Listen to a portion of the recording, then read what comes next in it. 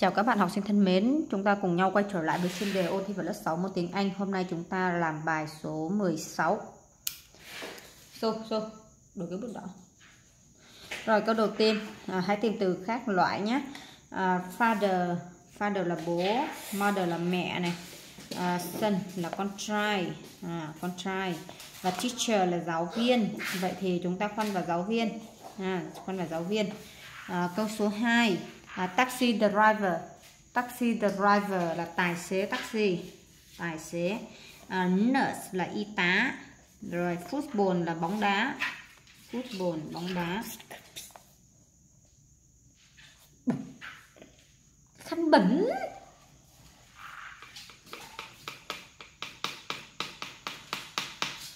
Doctor là bác sĩ.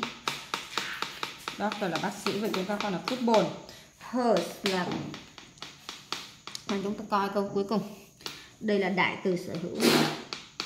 Đại từ sở hữu. Đây cũng là đại từ sở hữu luôn. Và do có sở cũng là đại từ sở hữu luôn. Ao ở là của chúng tôi của chúng ta. Đây là tính từ sở hữu. Tính từ sở hữu. Cho nên quân một câu này. Câu số 4 à, cái túi này. Cái túi này hạt cái mũ thay buồn là cái bàn drop là con chó. Rồi còn con chó. Câu số 5 what? Amia là động từ to be. Amia là động từ to be nha. Động từ to be. Cho nên ở đây chúng ta sẽ khoan vào what là từ để hỏi. What là cái gì? What là cái gì? Rồi xuống ờ, bài dưới đó là chọn đáp án đúng này. À, tiếp khi các bạn nhìn thấy how often ở đây các bạn hãy liên tưởng tới cái câu how often là hỏi mức độ thường xuyên và câu này có nghĩa là bạn có thường xuyên đi bơi hay không? How often do you go swimming? How often do you go swimming? Bạn có thường xuyên đi bơi hay không? Một lần một tuần, hai lần một tuần, ba lần một tuần hay là mỗi ngày? Rồi câu số 2 à, Khi các bạn nhìn thấy now Có nghĩa là gì? Hành động đang xảy ra Hành động đang xảy ra Ngay lúc này Tại thời điểm nói Và đây gọi là thì hiện tại tiếp diễn đấy cô ấy đang à, đang làm gì đó. Bây giờ các bạn câu nào có in hết trơn rồi này. Vậy thì chúng ta phải dịch nghĩa thôi. À, letter là lá thư. Vậy thì đang làm gì lá thư? Đang viết thư. Từ viết thư à, chúng ta phải chọn cái từ này là viết đang viết. À, she is writing a letter now. Câu số 3 do you want to play piano or à, bạn có muốn chơi piano hay là nói tiếng Anh? Bây giờ đây là tiếng Anh mà tiếng Anh phải nói nói sẽ là từ speak speak là nói uh, meet là gặp mặt uh, gặp see là nhìn à, uh, see là nhìn. Uh, seek là tìm kiếm uh, tìm kiếm. Vậy thì ở đây chúng ta sẽ chọn câu D speak. Câu số 4 uh, khi chúng ta nhìn thấy yesterday như đã nói yesterday là gì? Đó là ngày hôm qua. Ngày hôm qua là gì? Là quá khứ. Ngày hôm qua là quá khứ. Vậy thì xài động từ cột 2 động từ cột 2 nhé và ở đây có động từ cột 2 đó là câu này và câu này đúng không? À, câu were và câu was đó là you thì phải đi với were cho nên chúng ta khoan vào câu A. Câu số 5 à, Mary à, chẳng bao giờ chơi bóng đá. Bây giờ chúng ta phải chọn cái từ never. Never là chẳng bao giờ không bao giờ. Chẳng bao giờ. À, chẳng bao giờ. Chúng ta khoan là câu B. Never chẳng bao giờ. Rồi sửa lỗi sai trong các câu sau đây. Rồi nào. Where are you yesterday afternoon? Khi các bạn nhìn thấy yesterday, các bạn lưu ý đây là quá khứ. Yesterday là ngày hôm qua, quá khứ phải sử dụng từ cột 2 mà đây sẽ a là sai. Sai cái chỗ này và chúng ta phải chuyển thành were. Where were you yesterday afternoon? Đừng có đổ con, nó hết mực đổ trong ngoài.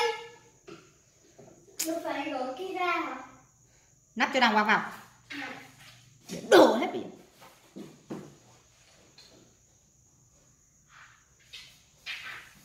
Câu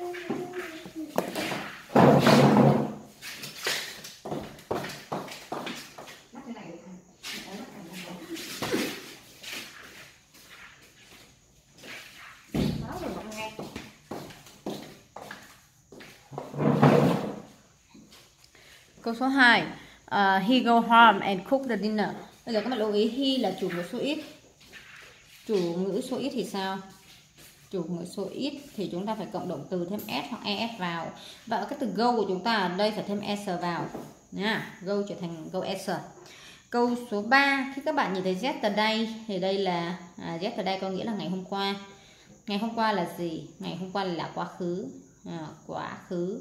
Mà quá khứ thì sao? Phải sử động từ cột 2 rồi mà động từ cột 2 không thể là xài y được mà chúng ta phải chuyển thành word hoặc là were David là chủ ngữ số ít cho nên chúng ta xài word ở đây. À, câu tiếp theo. À, chị gái của bạn được sinh ra ở đâu á? À, đây cũng là quá khứ luôn vì cái thời điểm sinh ra là đã xảy ra rồi. Quá khứ thì phải xài động từ cột 2 không thể xài động từ cột 1 được. Chúng ta chuyển y thành was bởi vì chị gái là chủ ngữ số ít chúng ta xài was. à, where was your sister born. Rồi chúng ta xuống bài dưới là cái bài gì? Bài đọc đoạn văn và trả lời các câu hỏi này. Rồi. Um, their name are Mary and Peter. Tên của bọn họ là Mary và Peter. They are in grade 5 grade là khối. Bọn họ học khối 5 rồi. Every day mỗi ngày they get up at 6 a.m. mỗi ngày họ thức dậy lúc 6 giờ and have breakfast quickly và ăn sáng một cách nhanh chóng they go to school at 6:30 a.m. họ đi học vào lúc 6 giờ 30 and they uh, and their class start at 7 và lớp học của bọn họ bắt đầu lúc 7 giờ Yesterday, ngày hôm qua uh, là chủ nhật. Yesterday was Sunday. They weren't. Uh, weren't là không. Bọn họ không ở trường. They were at home. Bọn họ ở nhà. Rồi chúng ta trả lời câu hỏi câu thứ nhất. What are their names? What are their names? Bọn họ tên gì? Bọn họ tên gì? Chúng ta sẽ trả lời là gì? Their name. Viết hoa chữ này ha. Their name are Mary and Peter. Their name are Mary and Peter. Uh, number two, what time do they get up every day? What time hỏi giờ. What time do they get up every day? Get up là thức dậy. Câu này có nghĩa là bọn họ bọn họ này thức dậy này thức dậy mấy giờ thức dậy lúc mấy giờ mỗi ngày à, mỗi ngày và chúng ta đọc bên trên. Chúng ta đọc bên trên nè. À, chúng ta đọc bên trên chúng ta thấy 6 giờ thức dậy. Vậy là day get up day get up at 6 am rồi câu tiếp theo bọn họ là học sinh phải không? Bọn họ à, are they pupil. Bọn họ là học sinh phải không? Bọn họ là học sinh phải không nhá? Và đúng rồi họ học lớp 5 mà. Khối 5 à, vậy thì đúng. À, đúng. Đúng thì chúng ta nhớ trả lời là Z và chủ ngữ đây là bọn họ là đây viết lại tu vi a z đây a. Câu số 5 what is Monday yesterday?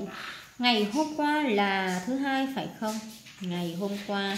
Đây là câu hỏi yes no ngày hôm qua là thứ hai phải không ngày hôm qua là thứ hai phải không? Và chúng ta đọc bên trên bài chúng ta thấy người ta nói ngày hôm qua là chủ nhật. Vậy no chủ ngữ đây là ít và động từ to be đây là what. À, vậy là wasn't à, no it wasn't where were they yesterday? Where là ở đâu? Tức là bọn họ đã ở đâu vào ngày hôm qua? Bọn họ ở đâu vào ngày hôm qua? Vào ngày hôm qua bọn họ ở đâu? Và chúng ta đọc bên trên bọn họ ở nhà bọn họ không ở trường bọn họ ở nhà. À, chúng ta chỉ cần trả lời là đây were at home. Đây were at home là xong là có điểm rồi. Đây were at home. Rồi dịch sang tiếng Anh. Nam đá bóng vào chủ nhật. À, nam đá bóng vào chủ nhật chủ ngữ là nam. Và đá bóng là gì? Đá bóng là play football. Nam là chủ ngữ số ít. À, là chủ ngữ số ít cho nên chúng ta thêm sờ vào. Bóng đá này đá bóng này, football thứ là chúng ta sẽ on và chủ nhật là sân trời ơi